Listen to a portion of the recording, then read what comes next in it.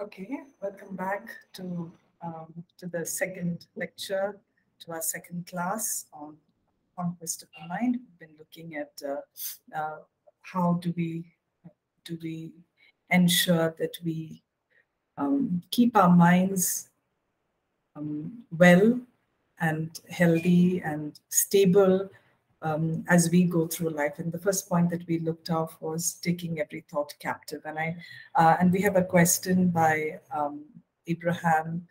He asked, with the temptation of Jesus, did he open a door uh, to the to the enemy?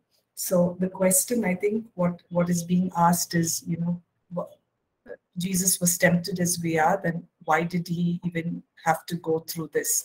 Why did why did Jesus have to be tempted? And um, and so here's, I, I think I maybe just bring about one or two scriptures as I'm answering this. So when, when we look at uh, Hebrews chapter 2, verse 17, I, I'm just picking up that verse and just reading it for us. Hebrews chapter 2, verse 17.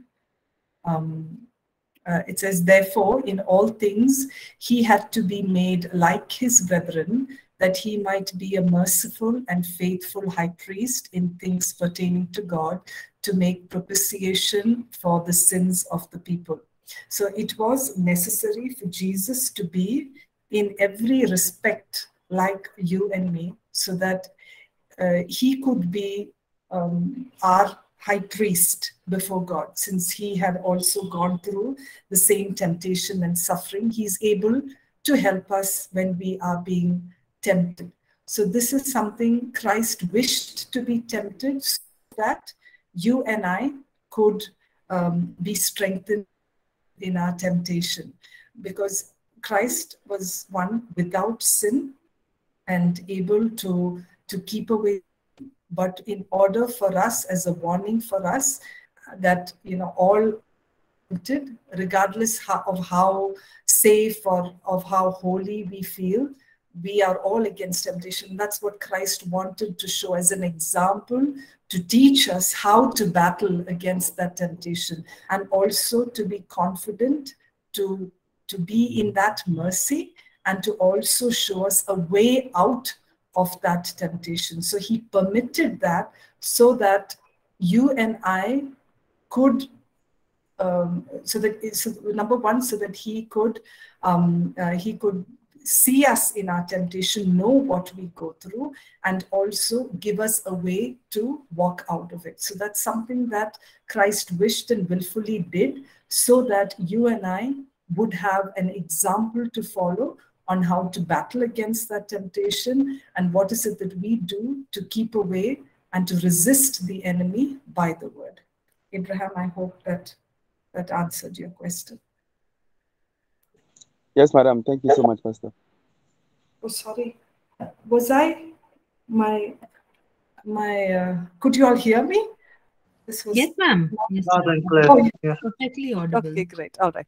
Okay, so let's let's move on to. I I think before we we move into this the second and the third point, let's just um, quickly go back to what we were what we were looking at is um, uh, anybody would like to uh, you know bring up any kind of an example that that you have decided that you know there are there are these thoughts that are there and you know just taking what we learned right now taking those thoughts to captivity. Anybody wants uh, anything to share? Anyone would like to share anything before we move on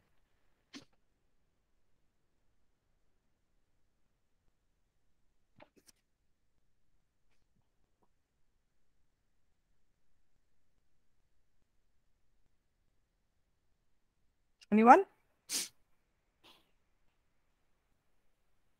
Okay. All right. So we, I think we'll we'll uh, go forward. The next uh, uh, the next point that we're looking at of when we're conquering the mind is um, you know something that we've heard over and over and over again uh, it is to renew our minds it is to come to a place of transforming the mind so in order to combat or conquer these things in our mind, we need to keep our mind holy. Um, and come to a place of constant renewing of it and uh, I, I, just want to let, let's let's just look at about you know what are our natural minds and what you know where is it but what what is it by default? What what does scripture talk about our minds by default? And for this i just uh, like to read romans uh, chapter 8 verses um, um, 5 onwards. Okay romans 8 verses 5 onwards. Okay so i'm just going to read that. If you have your bibles you could open that alongside with me to understand what the mind is about and why is it needed that we continually come to a place of renewing it okay uh, romans 8 verse 5 for those who live according to the flesh set their minds on the things of the flesh but those who live according to the spirit the things of the spirit for to be carnally minded is death, but to be spiritual minded is life and peace. Because the carnal mind is enmity against God, for it is not subject to the law of God, nor indeed can be. So then, those who are in the flesh cannot please God.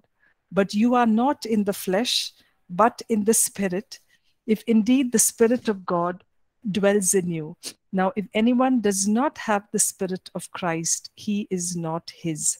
So when we when we're looking at two of minds here, we're talking about one is the carnal mind, and one is the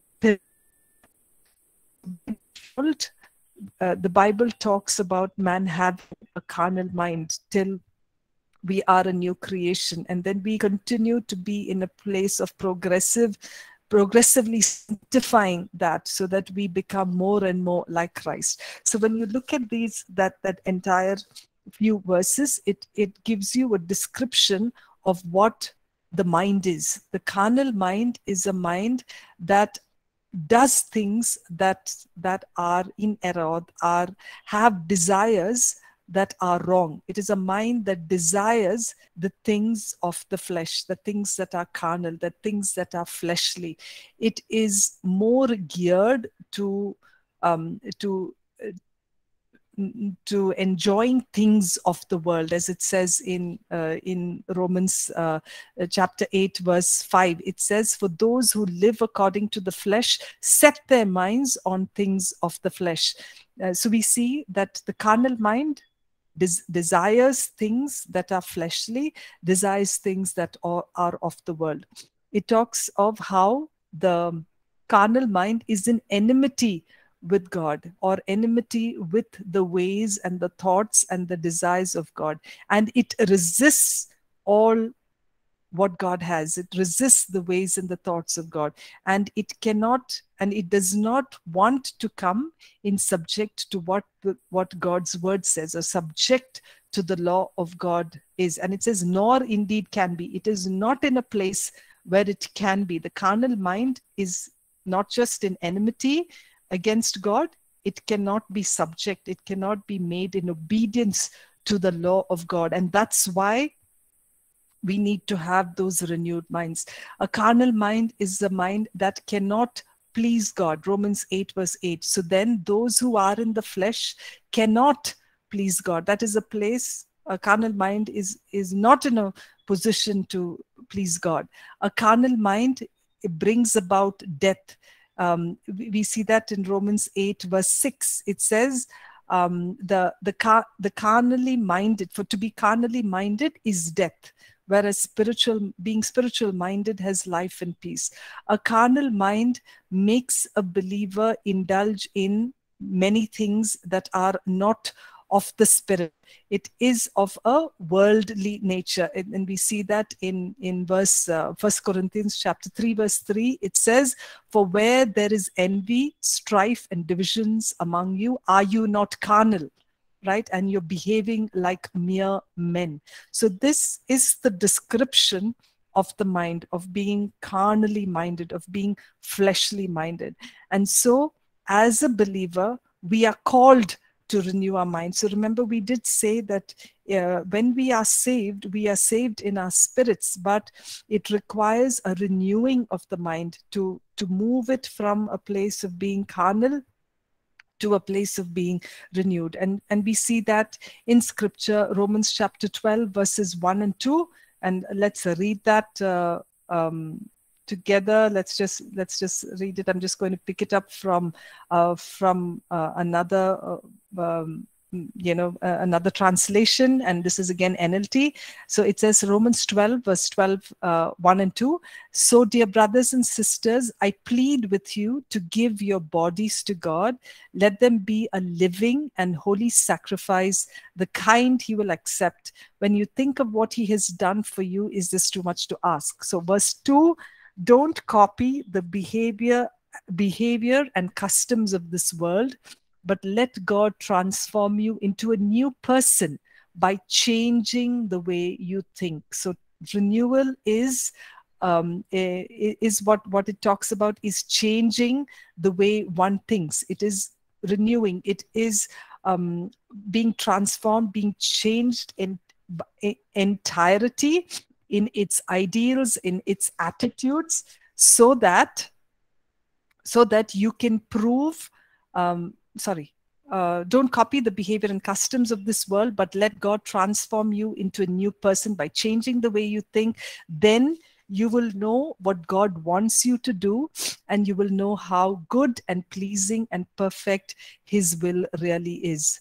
So, when we are renewing our minds, what we are doing is we are letting go of all that is fleshly, letting go of all that is carnal, the way that we originally carnally think the thoughts that we have and having the word of god taking on god's ways and god's thoughts. Scripture very very um, you know uh, emphatically says in isaiah 55 7 to 11 it says the unrighteous man has his his thoughts and those who are unrighteous or those the wicked man whose thoughts are unrighteous let him return to the lord and God will have mercy on him.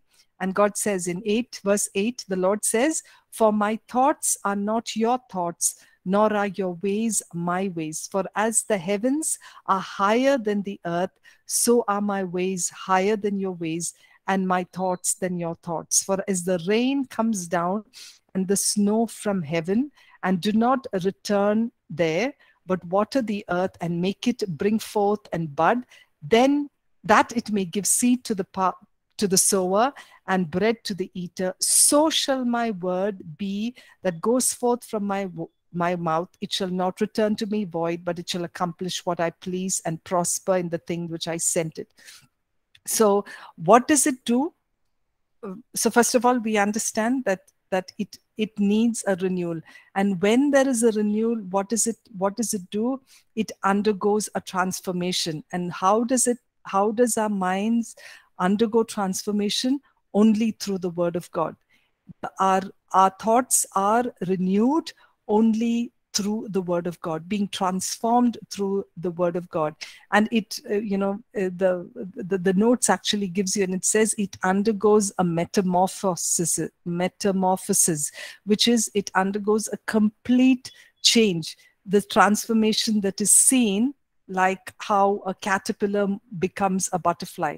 The kind of renewal that takes place is something that was different. You know, if you if you look at the way that um, that a caterpillar evolves, the pupa is is Mm, is the way that it is but then when it is being transformed it comes out as something beautiful. It comes out as something completely changed and completely transformed which is what romans 8 6 is talking romans 8 that what we read is talking about. To be having a spirit filled mind to be having a spiritual mind is to have a renewed mind because that's what leads to life and peace so we are called to live that mind which is renewed. So a renewed mind cannot be seen akin to the carnal mind because a renewed mind is a mind that is able to keep away every thought that is not in alignment to God's word, or every idea that is not in alignment to the will of God. So a renewed mind is a mind that is being trans that is transformed, that it, that it changes. So what is the uh, content of a, what should the content of a renewed mind be. We saw the content of the carnal mind. The content of the carnal mind is death. The content of the carnal mind is is that which does not please god. The content of the carnal mind are those whose thoughts and the ways resist god who's uh, not subject to what god's word says. It is it is the carnal mind is that which desires the wrong things. So we see the description of the carnal mind but what is the description of the renewed mind? For that, let's turn to um, uh, Philippians chapter 4, verse 8. So it says, Finally, brethren, whatever things are true, whatever things are noble, whatever things are just, whatever things are pure, things are lowly, lovely, whatever things are of good report, if there is any virtue, anything praiseworthy, meditate on these things. This is what the renewing renewed mind looks like. It is a mind that thinks in accordance to truth in nobility in just in that which is pure that which is lovely that which is good report. So all of that is what uh, a renewed mind looks at. And to come to a place of being renewed. And we are called to do that and that's one of the biggest ways of how we learn to conquer our minds is being in a place of renewing the mind. So if, if you look at it in progression knowing that there are thoughts that you may need to uh, to bring to captive captivity and in to the obedience of christ and then renewing it. Now you know a simple way of learning how to renew your mind is number one is to recognize what are these thoughts. What are the thoughts that are in disobedience to god? So recognizing it. And you know the next is to if we could if we could just use a word like either replacing or reframing your thought into god's word into into god's god's thought so recognizing it you know taking it into captive okay and then reframing reframing those thoughts into what god wants you to think about. So the uh, earlier on we did that exercise of understanding what are those thoughts that we need to take captive that we need to pin out that we need to bring out. Now it is to saying what can how can i reframe? How can i replay? How can i renew this by god's word so that you know my thoughts are pure my thoughts are true my thoughts are worthy my thought as my thought is of good report okay? So the same thought that you had last you know in the last couple of minutes we we kind of wrote that down. The same thought that you had now reframe it renew it. Use god's word to displace something that that is that is that is not in obedience to god. So you know maybe we just take a couple of minutes to complete that and say okay this is what i i have caught it i have recognized it. Now i want to replace it. I want to reframe it to renew my mind. So just take maybe three or four minutes um, to maybe write down what is it what are the words or what are the thoughts that you are going to bring about so that you can continue to renew your mind so that you know you have that um, that experience of transformation as you do that. Okay? Couple of minutes maybe three four minutes to do that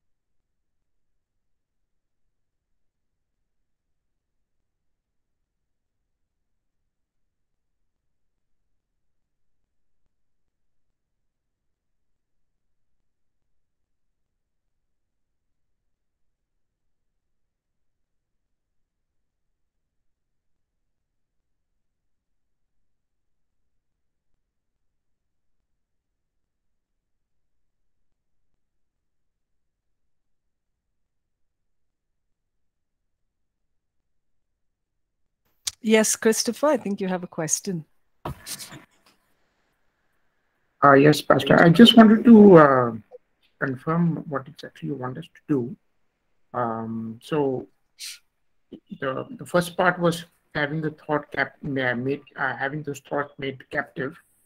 So that would be now, the, the uh, you know keeping it, uh, uh, you know uh, kept kept, kept now uh, you know bound basically yeah. And then in this in this stage we are talking about renewing the mind so are, we, are you talking about um, replacing it with something else so based on what with, god uh, yes. wants to yes do? yes. Or uh, how do yes. we do that? I mean in the sense um, scripture.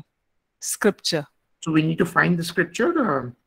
it would be good if you can find scripture to help you to uh, renew that part of, of a thought that you would have. Like um, let's say the thought is maybe it is about something to do with your with your children okay? The thought of uh, maybe they will um, uh, I, am telling you that is because uh, that this is something that uh, you know that that that did come up in a discussion in the morning about um, maybe uh, about how they're they're doing or how you know what will come out of their lives. And I found a, a you know I, I found a scripture saying you know we do not bear our children in um, uh, in captivity, but they are called the blessed of the Lord. They are descendants of the Lord, right? So, so just declaring that is renewing your mind. So, if you can find a scripture, that would be wonderful because the Word of God is living and active, and that's what brings about, you know, as as you read in in uh, you know just a couple of verses, that it will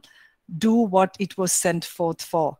It will accomplish what it was sent forth for. So scripture is definitely the place to go.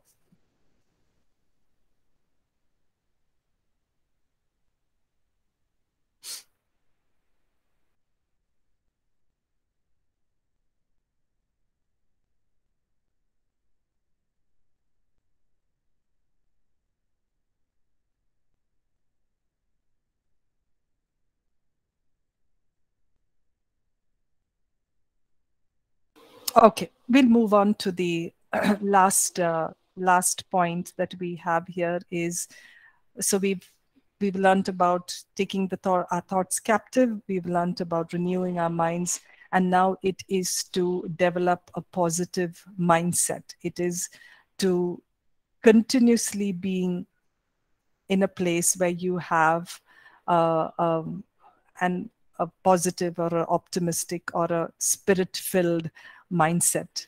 Now when when you know to to to understand that god just as much as he's interested in everything in our lives you know the lord is is more than interested in how we think.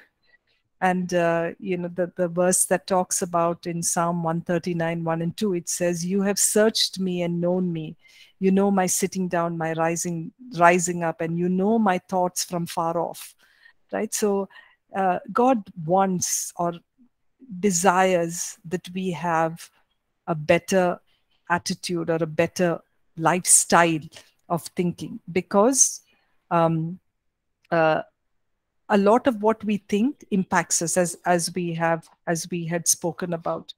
And uh, you know when we are when when we are developing a mindset but what is a mindset? A mindset is something that you carry throughout. It's not like for position or, or for uh, uh, you know pockets of time but it's something that you carry out.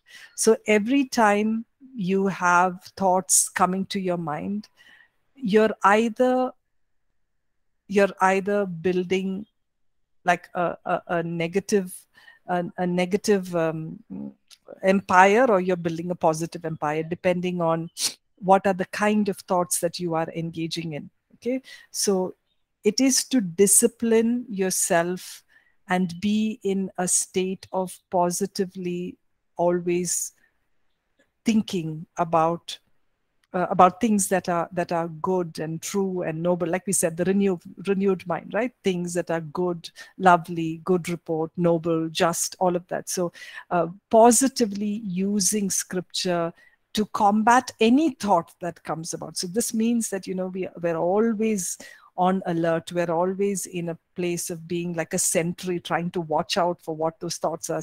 And i think that is that is what we are called to do to be able to have a mindset a, a positive mindset.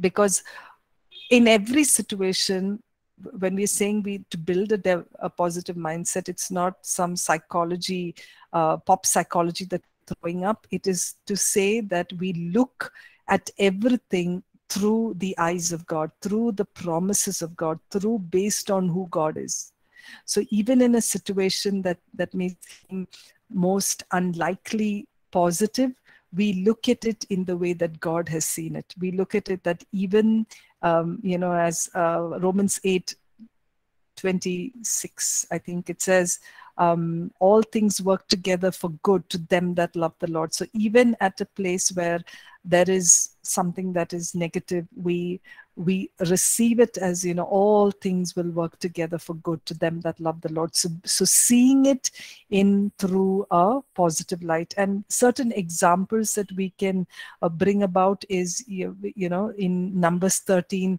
where the about the 12 spies where joshua sends about sends the spies um, to go look up the the land of canaan. Now all these spies were sent to the to the land and all of them all the 12 of them saw the giants, right? Including Joshua and Caleb and the, and the rest of the, the 10. Um, uh, they saw the giants. But 10 of them, how did they see it? You know, they saw themselves as grasshoppers before the giants and were immediately, they were immediately frightened. And they immediately said, you know, this is uh, this is not a place that we should go or we will we will lose the battle. But you know if you look at it interestingly the other two joshua and caleb saw the giants as bread that are ready to be eaten. What did they see? They saw victory. So they had already won the battle uh, the minute that they saw it. So the way that they saw it the way that they perceived it was one saw it as a problem and the other saw it as uh, you know as something that was victory. And they they began they saw things as the way god has seen it. So when we um, when we speak positively we speak into our lives. But when we think negative or when we speak negative we can begin to feel defeated even before we have entered into the place of war or entered into that place of battle. So we are to learn to look at things from the point of the way God sees it. And another example is um, is the way that Abraham, uh, you know, he is called out. Uh, uh, in, in Genesis 15, he's called out uh, and uh, shown by God. He's he shows Abraham shows God and sorry, God shows Abraham the the stars and says, you know, look up to the heavens and count the stars and number them. See if you're able to number them. Okay, so what does uh, what does Abraham do? You know, he goes out and and God gives him a a picture. He gives him something to visualize. And uh, he he's he begins to visualize and say and say you know this is as much as what your descendants will be like. For a man who didn't even have a son out of uh, uh out out uh, as a promise right he goes to visualize and he sees the promises of god and he begins to see that as a reality. So we are also called to think in the way that god thinks to understand number one to see the way that God thinks. God, the way that God thinks is not small and concealed and little and uh, limited. The way that He sees it is huge, is big. It is. It has a lot of details in it. It has. It has many things in it, and that's that's how we are called to think. The way that God thinks. God also, you know, if we look in um, uh, uh Jeremiah. Uh, Mm, Jeremiah 29 level 11, it says God thinks about uh, a good future, things that are not yet seen. He says that's what's going to come. Or um, you know, at, at the time that he speaks to Abraham, um, God's God tells Abraham that you know he he's he promises Abraham to bring life into into a dead situation, and for 25 years, uh, Abraham waits for that promise. So God calls things that that has never been to come to fruition to come to an existence so that's what that's how we are called to think to have that sense of a positive attitude to be able to align all of our thinking to the way god thinks to align ourselves to the way god um, God's word says to align our thinking uh, into maybe visions and dreams and ideas that the Holy Spirit may be, may be bringing into our lives and to completely um, eliminate all that is that's that's negative. Because that's the hope that we have been called for. You know we keeping our hopes alive the anticipation of what is to come of knowing that when we have entrusted whatever it is into God's hand, He makes things much greater, much larger. For, for us and uh, you know as we we read that scripture in ephesians 3.20 it says he is able to do exceedingly abundantly above all that you and i can ask or think according to the power that works in us so when we are in the midst of his presence in the midst of that power, the Lord can do much more than what we can ask or think even better than whatever we can imagine and whatever we can we can think think of.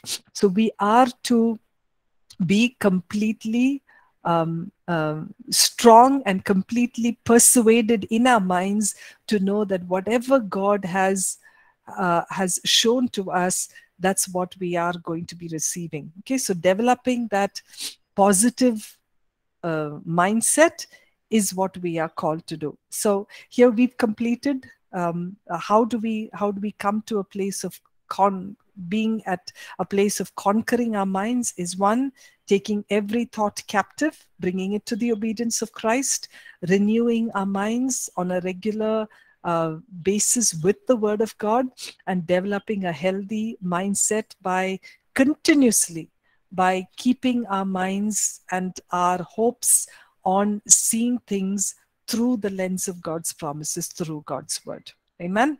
Okay. Um, we have a good 15 to 20 minutes available for us. Uh, either we can open this up for questions or or any kind of a sharing um, that maybe things that you have done or or the way that you have um, you know done this in your personal life i think will really help and encourage one. Because i have a story which i'd like to bring up and maybe something uh, i'd like it to be open to anybody who'd like to share who's been through this journey or who are uh, in this journey as well. Okay? Yes mangi i think there's a question that you have or a share? Yes, Pastor. Uh, see this similar question that I the what I had earlier, I brought earlier. Um, in many churches, especially in, in black churches and also um, Indian churches also, uh, people put more in, they focus more on like on the de devil, not not like they're focused on the especially on the devil, but also they put more, they give, uh, they cast out devil most of the time. And from what, what we've learned today is that temptations and temptations temptation begins in us because of what we see what we think what we we hear and how my question is how much should we how much time should we spend on casting out the devil and speaking about enemy instead of uh, focusing on improving our, our, our, souls, our relationship with God, and spending time in, in, in prayer. Because I find most of the time it's devil this, devil that, devil this, devil that, and then we forget that we've got responsibility and we can, yeah. Okay. Thank you, Pastor. Thank you, Mangi. I think that's a that's a great question.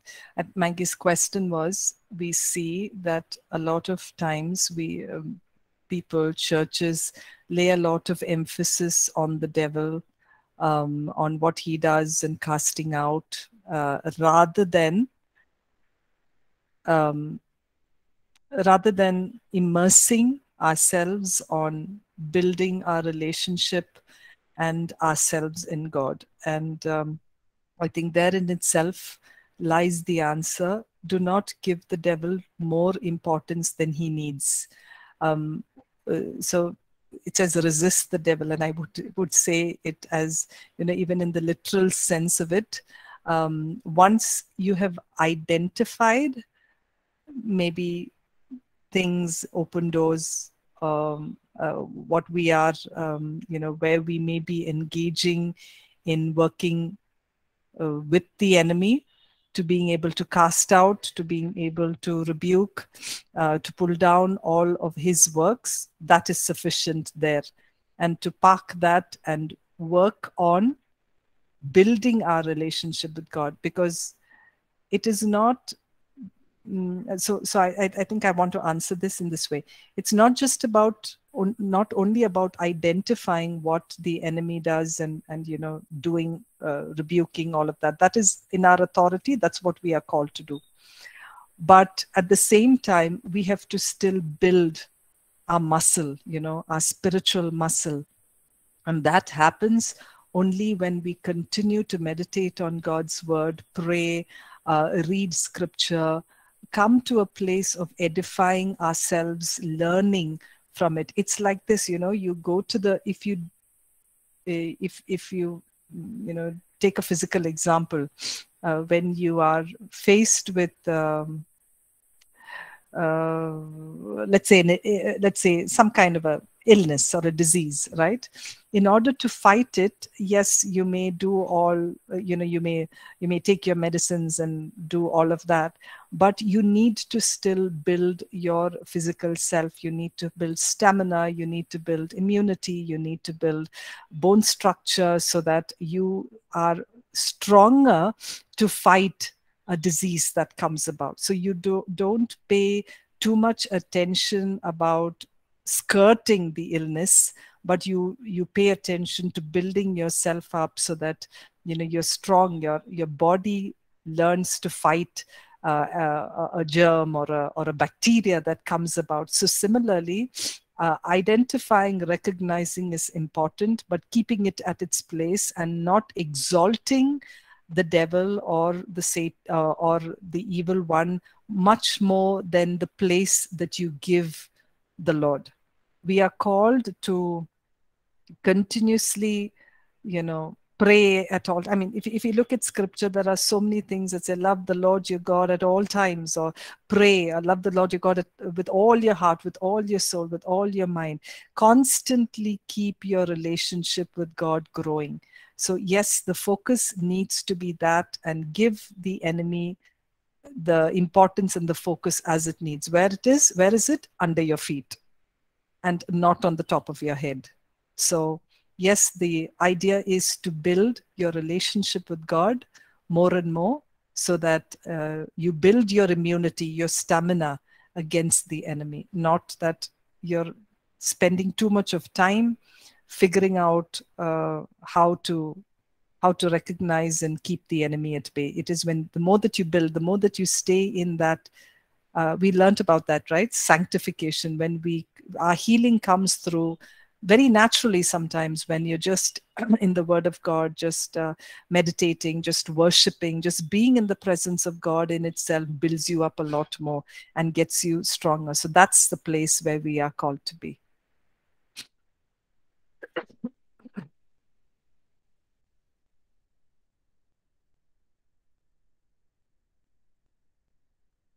Okay, any other questions or any other thoughts or any sharing?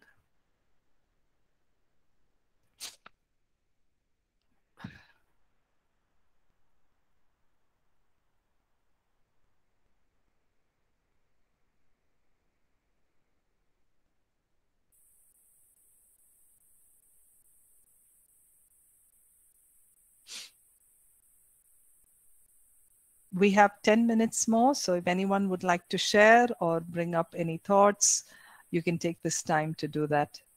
If not, uh, we could just close with a word of prayer. Maybe one or two of us uh, can pray that um, you know God helps us to keep our focus on um, on the way that we. Can I share? Yes, Avni, go ahead. Go ahead.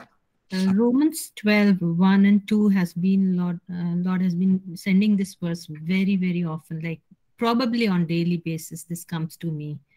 In every situation when I find myself struggling and I find that I've actually entertained something that I shouldn't be, and this word comes to me, renew your mind and uh, do not be conformed to the pattern of the world because many times we see that those who are following the pattern of the world they sound better they look better than we who are struggling to walk in the narrow path. And you know sometimes we start wondering what is happening like and especially like my my younger one my daughter she always says mama why are they not troubled as much as i'm troubled? No i pray and i'm still troubled and they are not troubled mama. They are not following the word of god but they are all happy and i'm struggling. So i always tell her read this romans 12 the entire chapter is like a beautiful chapter for us to be strengthened to you know know that uh, no matter how much we are being tried and tested by the world and by our own self or by a devil anywhere but uh, the final word is from the lord. And what he has promised through his word no one can take away our fruit our portion our uh, you know inheritance that we have in christ. So this word has continued even today morning uh, romans 12 one uh, i just uh, was talking to my niece and she was asking me something. I said just I, I don't have time but you just go and read this romans 12 and you will be blessed. And after that you were teaching on it. I was so glad that lord has been ministering to me through this word. And especially mm. ma'am you know um, when we were talking about like temptation uh, i remember that many times we think in our own strength that we are on the right way and everything is fine with us and we are following god but uh, you know uh, the sanctification as we have read is a progressive thing in our life. And god knows uh, psalm 139 says he knows deep inside what is going on. So even i was you know thinking of certain uh, a relationship with somebody that uh, it's all okay and it's all going well. But then uh, in the process of sanctification i came across a, a, season of my life where i realized that uh, actually it wasn't that good. But uh, i bless god for teaching me through apc uh, especially not only bible college but through the church and all the teachings that we are receiving that by the renewing of my mind and by holding on to the word of god i've really seen the power of god working in my life. And he has you know done that work in me which i needed to be you know be more forgiving be more uh, rejoicing in the lord be, being more uh, experiencing the victories that god gives in our situations where we feel defeated and uh, you know delivers us from all kinds of self pity and and uh, you know condemning ourselves living in guilt and condemnation. So uh, i've seen lord doing this in my life uh, day after day day after day day after day. And uh, it's a joy it's a joy understanding that what power is there in the word of god. I mean people keep praying lord humble me humble me humble me. But when we say humble me we do not know what we have to go through through the refiner's fire to be humble. It's not uh, just a prayer which you know uh, surfacially it is it looks good to pray that humble me. But when we say humble me uh, the process is uh, as as it says that when you are being disciplined by the lord it may not seem good at that point of time but it will bring you to a place where you will not be ashamed anymore. So uh, personally, I have really been blessed and I've understood that what the power word of God carries in our life and how we can hold on to it and truly experience the joy and victory that Jesus has provided on the cross. That's my testimony, ma'am. Thank you so much. Thank you, Avni, for sharing. That was that was so wonderful. Thank you. Yeah. So I, I maybe I, I'll also quickly share, and then I think we can close. Uh, so something, and so much so in the lines of what Avni was saying about, um, you know, this constant prayer of Lord surrender. You know, um, uh, when we say surrender, uh, I keep telling myself, you've got to be completely clear that when you're saying surrender, it is laying down every right to to yourself. And uh, so when you when you pray the prayer it's, it's a beautiful prayer to pray. But like avni was saying actually going through that place of surrender is is very hard. Yet what comes out as a result of that is so beautiful. And um, so something uh, so when, when we when we're looking at surrender and i think for, for, me personally when i was looking at surrender it is surrendering all um, all of life's decisions uh, that that we i made making and will make. Because there is that sense of um, um, uh, uh, so maybe bring it out as an example. There are there are certain things that you know maybe there are certain decisions you make um, for for your family because you know that that's that's what god would would like you to do. But however the the kind of um, responses that come can be very very difficult at that point of time. So that's that being in that place of surrender is actually completely lifting your hands and saying god i have no right to hold this anymore. And i'm willing for you to take it to the extent that you would want to so that it will turn out to be something so beautiful.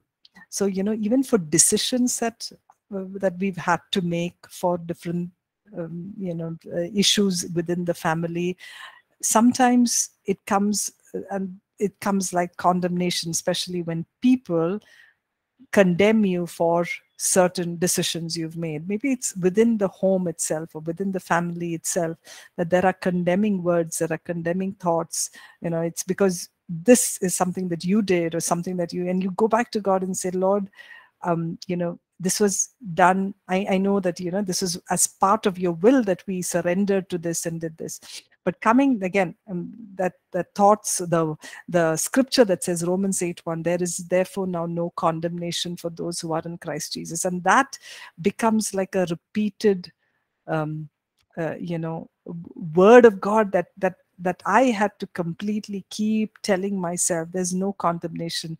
Whatever we've done or whatever the decisions we've, we've made is going to come for, out for His glory. Maybe you can't see it right now. It's not evident at this time right now, but it will come. It's just looking at the promises of God and saying, Lord, I'm keeping away every kind of condemning thought that's generating within me, that's being generated by the outside, and knowing, Lord, that you will bring to to fruition what you have promised. So yeah so that's so much in line with what uh, what you said. Thank you avni for sharing. Yes louis i think you have you've raised your hand. Would you would you like to share your thoughts?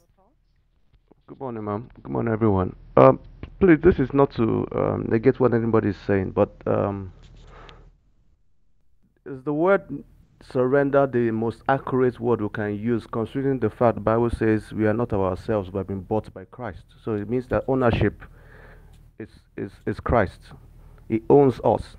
Um, even though, though sometimes you want to want to want to give him the good and take the bad or give him the bad and take the good but he bought he bought us the way we are both good bad ugly everything. So is the word surrender the right word to use or allow him be the owner of the property both the divinity, the humanity, and everything. That, that's why I'm trying to see if we can, if it doesn't change the narrative of the discourse. Okay. All right. Thank you. Thank you for that. Yeah. Thank you. Right. Um, uh, I do see, um, Christopher, you've added a question. I'm going to keep this, and maybe we could we could look at it uh, next week.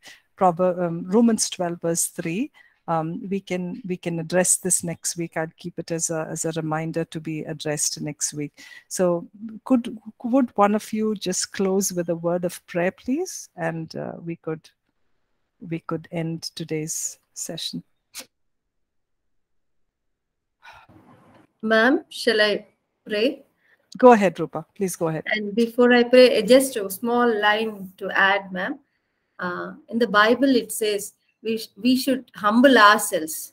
But uh, I went through a course called in image, Christ image training.